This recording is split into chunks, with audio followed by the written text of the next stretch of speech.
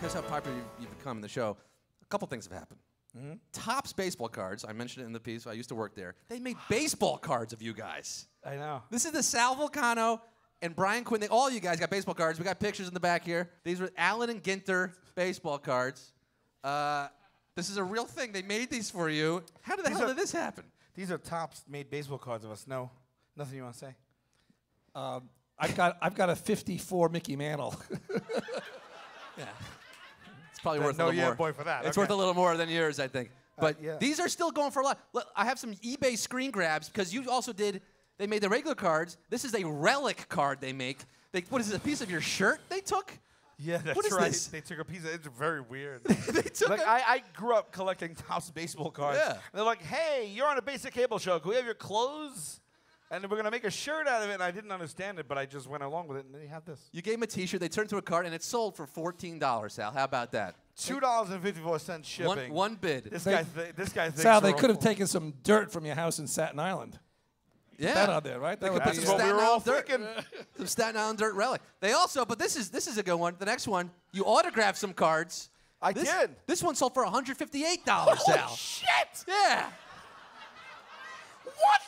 the fuck? Winning bid. I had no idea. That's crazy talk. I will sign anything for like a like a, just a couple of dollars. You should have hoarded them. You shouldn't have given them back to Topps. You could have sold them yourself. You just blew my mind. I had no. I did not know that at all. Wow. And along the baseball theme, the Brooklyn Cyclones. Anyone go to Brooklyn Cyclones games? Okay. Yeah, you guys are. Do you play for the big, Cyclones? big fans. The catcher and the pitcher are Yeah, here. big Yeah. fans here. Think they're fucking them at least. there's, there's.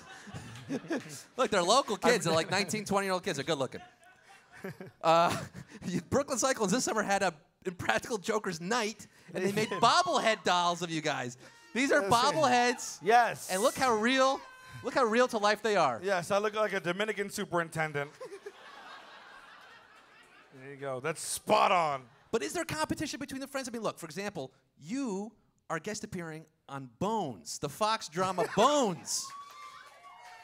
You know, I'm just going places. You was it you and Q or you? Q- uh, no, it's me and Murray. You and me, you and Murray are going to be on the Fox drama Bones, which apparently they're still making new episodes of that show. It's in, it's in the tenth season now.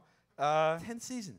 So, but like for example, Joe and Q aren't on the show. Are they uh, sore well, we about just that? we just get like we're lucky enough, fortunate enough to like because we're on the show. Sometimes people are like, oh, I love you guys. We'll put you on the thing. So Yeah. we all take turns doing it. So, so did you audition and only you two made it? no, we didn't audition. We we just you know we just sometimes the other guys do. It's it's just any combination. You splitting the money at least? I mean, there's got to be some kind of. It's scale. I It's you know, scale. it's, it's splitting it. Yeah, yeah. We discover a dead body. We play two sanitation workers that discover the dead body of a senator in our streets. He gets caught in our street sweeper, which is cool for me because my dad was a sanitation worker, retired. So I and, and he loves bones. Do you and Murr play uh, pranks with the dead body? Is there any kind of like? Not to give anything away in this episode of Bones, guys. Spoiler. But he thinks I'm kidding around and he tastes the blood and then I throw up. And they hooked up like a tube to the side of my mouth and I turn and you know what the throw up is?